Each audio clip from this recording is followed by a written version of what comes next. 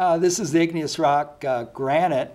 You can see it has large visible crystals in it. Sometimes they might flash at you a little bit in the light. Tells you they're visible to your eye. They're big enough you could measure them. So it's a coarse-grained igneous rock or phaneritic.